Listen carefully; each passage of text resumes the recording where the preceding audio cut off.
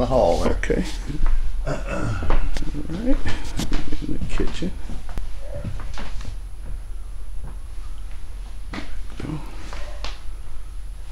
That's some crazy weather, isn't it? Oh, I didn't know what to do this morning. I thought to just carry a coat and if I, I, know, I didn't either. I put on a long sleeve, but I almost had to take it off. Yeah, I put a jacket in the car. I got one of those little wind jackets that you like Oh, the yeah, golfers wear. All right. There's another bedroom there. I think there's some boxes in it. Okay, the second bedroom. They're good sized rooms. Yeah, they are real big.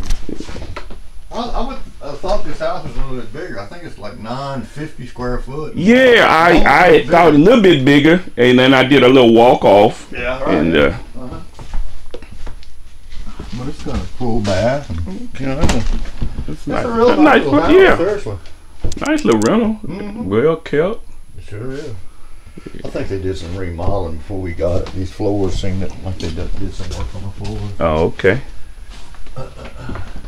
And we, I had an electrician over here when we first bought this house for about three days. Oh, okay.